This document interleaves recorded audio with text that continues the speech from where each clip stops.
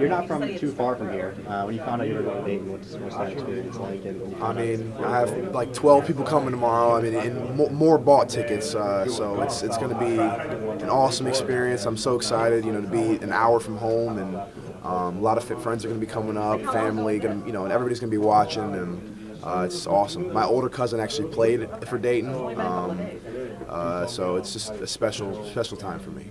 My dad, you know, it's ta- me to multiple um, games in March uh, throughout the years and tournament games. And, um, just to see, you know, a school you're a part of, a culture you're a part of, a, tradition you're a part of, come up on a screen, um, something you've worked for all year, and you know, you've had a part in getting to this point. I mean, it's just so special.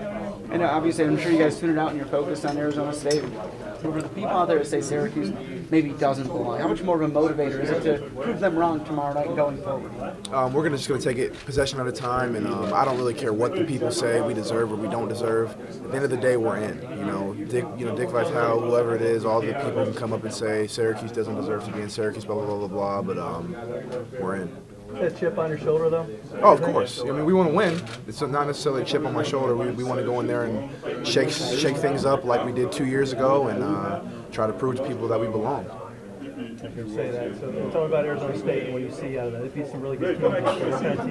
Um, you know, they're, they have a lot of small guards. They're fast. They can get up and down. Um, it was, um, I saw them play at Allen Fieldhouse against Kansas. It was just one of those nights. I uh, got done with practice, you know, flipped on the TV, and uh, it was a late game, and it was a, you know, those guards, they can get north and south, and you know, if we we, we got to make sure we get back on defense.